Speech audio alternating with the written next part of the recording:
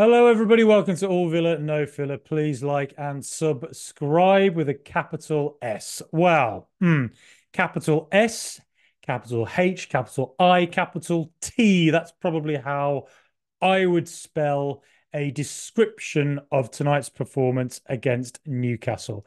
It's been a very, very long time since we've seen Aston Villa lose at Villa Park in the league. Close to a year which is just an incredible, incredible run with a uh, 99% winning run since then. Uh, however, tonight, um, so uh, first of all, I'm not sure many people are going to watch this. So, um, hi, mom, hi, dad, if you're watching. Um, but aside from that, uh, kind of before the game, um, I met up with the London Lions. We watched the game together uh, in uh, the Yak in Elephant and Castle in London. But it, having a conversation with one or two others within the Lions and a few text messages today with a few friends, there was a general sense that not quite sure about what we were going to get from Villa. And I think that follows on from just a run of performances that looked a little bit unconvincing draw with Sheffield United, lose to Man United, get just get over the line against Burnley, just get over the line against Middlesbrough, draw with Everton. Chelsea could have got away from us in the first half at Stamford Bridge. And tonight felt like the culmination of uh, a run of performances that haven't looked massively convincing. Um, I think where I would put this is that I think Newcastle started the game with far more intensity than Villa did. If you think back to when we beat them 3 0 back in April, one of the finest performances I've seen from a Villa team in years, um, we totally, totally dominated them from the first second of that game. We almost scored after 30 seconds.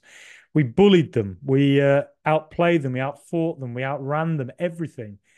But from the first minute today, it kind of felt like we were a group of players who'd just been on a beach in Dubai. It was a group of players who'd just been on the pina coladas and maybe just had one last pina colada before they went on the pitch tonight. Um, a little bit hungover, a little bit slower to things than than usual, a little bit too casual on the ball, and with that sort of casual approach um, that you could see with your own eyes, Newcastle were the opposite to that and started um, with a bit more intensity, a bit more certainty about how they wanted to approach the game, um, pressing from the front. And then as soon as that press was broken, they shifted into a 4 5 1 compact formation that they did in the second half against Man City uh, a couple of games ago and Villa just looked a bit like they were out of ideas. And as soon as they went into that deep 4 5 1, um, there were two problems. One, Villa didn't really know how to get it into the box. And so we resorted to just lumping it in, which is bread and butter when you've got four Andre the Giants in defense. Uh, I think Dan Burn is taller than Andre the Giant. Hulk Hogan will look at D- Dan Burn and think, I can't lift this man. I cannot get him over my shoulder. Um, you know, so uh, we kind of resorted to really poor tactics, poor thinking, and uh, it would be a case of we'd either lump it into the box and they just had it away with ease, and then if they did, they'd then have a potential break on with somebody like Anthony Gordon running from deep, Lewis Miley running in between our fullback and our centre back, or um, they would press us really high, man for man, we would struggle to play around it and resort to long balls forward from the goalkeeper again to Diaby versus Dan Burn. Well, who's going to win that? You know, is is David versus Goliath? Only on this occasion, Goliath wins all the time.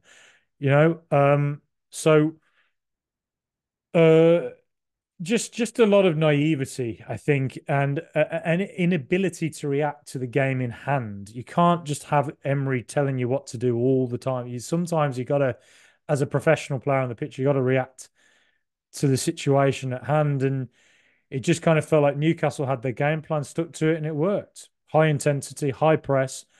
Um, and uh, if they, if we break the press, sh quick shift quickly into a four-five-one. Now, on occasions, Villa did actually get through, but it felt that once we did get through, we'd hesitate to shoot. Diaby had a clear opportunity to shoot, but because it was on his right foot, he wanted to shift inside, and the opportunity went. A couple of other occasions that happened uh, for different players, um, or you know, we what would happen is that we would have, um, you know, Newcastle would be in their four five one.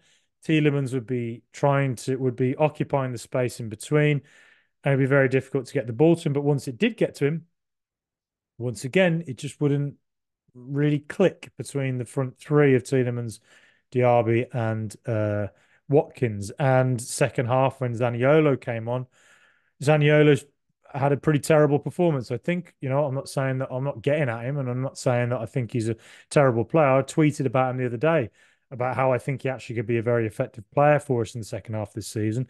But I just can't help but think that centrally it doesn't really work for him. And that actually he's better as a right winger, as we saw against Chelsea, and as we've seen in recent performances he's had for Villa, uh, where he's come off the bench and played out wide and been much more comfortable. And um, just centrally with his back to goal, he seems to just not quite have the the tools to cope with it. Maybe he'll prove me wrong and show that he can do it, but today was not that day. Um, Diaby, I'm feeling sorry for just because I would love to see him get a chance out on the right wing, just because that's where he excelled for Leverkusen. He's played very well for us this season, but I sort of feel as that second striker playing on the right hand side, there are occasions now where teams are just on his back all the time and not letting him turn and run at them. Um, and I think if he was on the right wing, he get to do that more and maybe play his way back into form. It just feels, and look, I think he will do again playing as the second striker.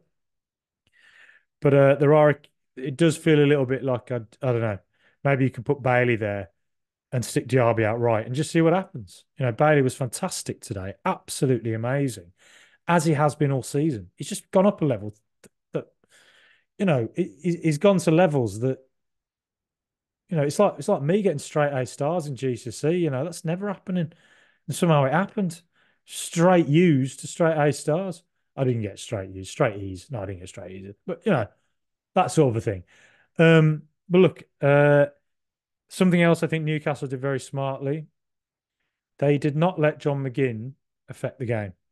Every time John McGinn got the ball back to goal, again they were on him all the time. It was a reversal of what happened last season where McGinn bullied Dan Burn. Dan Burn today was not giving McGinn a second on the ball. And it's it was a struggle for him to get into it.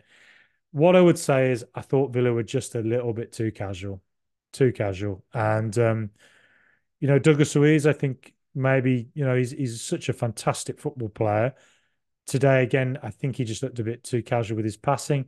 I think we looked a little bit like a Sheffield United game where it was predictable patterns of play and then resorting to just lumping it in the box when couldn't think of anything. And we're going to have to react to this uh, against Sheffield United because more and more teams are going to do this to us now. More and more teams are going to do it where they sit deep or press high. And then uh, once they're deep and get the ball, somebody's going to try and run between from deep between our fullback and centre back. Conor Gallagher did it the other day. Anthony Gordon and Lewis Miley did it today. We're going to have to deal with this. Um, that's part of being a brilliant football team that Emery's turned us into. Teams react to you and they start to prepare a game plan for you. Um, and once one team gets it right, other teams try and follow that. So, fortunately, we have Professor Unai in charge. We do not have Steven Gerrard in charge. And fortunately for us, we have a fantastic manager who I think can think about this, will go away and stew on it. Next time we see him at a press conference, his hair will probably be like that you know, sort of up in the air. Me, I look a bit like Ace Ventura at the moment, don't I? All righty then. All righty then. Um, uh, yeah, Ace Ventura, pet detective. Um, do a podcast on pets. I don't know, but um, yeah, I think uh, Emery will go away and stew on this for a while. Sheffield United, um, I think we all know what they're going to do. Their crowd will be up for it. I'm going to it. Can't wait to go. Sheffield, a city close to my heart. Went to uni there. Um, I think that Sheffield will do what they did to us at Villa Park. I think they'll try and emulate what Newcastle did today. Um, obviously, they don't have the quality of personnel that Newcastle have, um, but we just have to react. We have to figure out a way through that high press. And I would suggest Leon Bailey starting is probably one way forward. Um, one other thing from tonight, though, is that in fairness, the first 30 minutes, it was nil nil, and it, there were patches where you kind of felt actually Villa are now playing their way back into this, and it's a little bit on a, it's on a, it's just on an equilibrium here, isn't it? You sort of think one of the teams are going to get through. Newcastle looked the more likely with a long ball forward. They broke the high line a couple of times, you just kind of felt they were going to get through it at some point.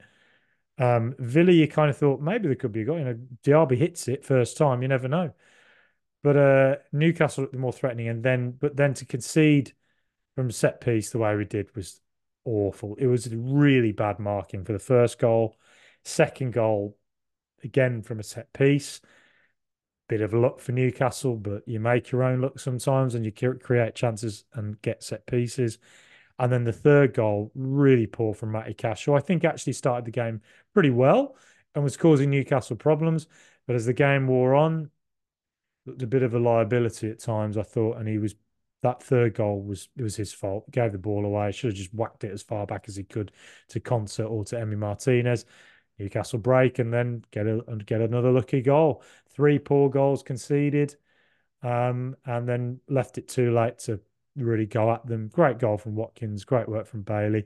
Good to see Watkins on the score sheet again. Shane Watkins' second goal was disallowed for offside marginal.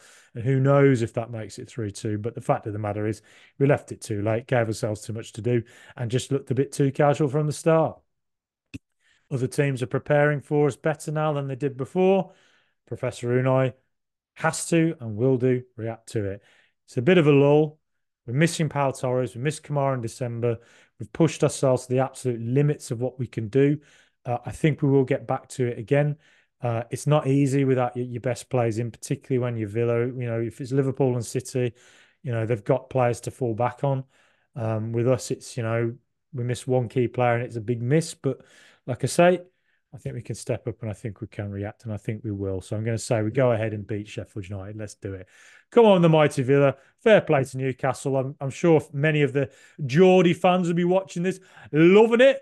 You know what? They'll be having a few points tonight. Um, the the London Mags, I'm sure, will be watching this, enjoying it. But fair play. Newcastle deserve to win it, and I'm sure they'll go up the table if they can keep enough players fit um, but uh, yeah, bad night for Aston Villa. Let's hope, let's believe that Aston Villa will bounce back from this. Please like and subscribe. Up the mighty Villa.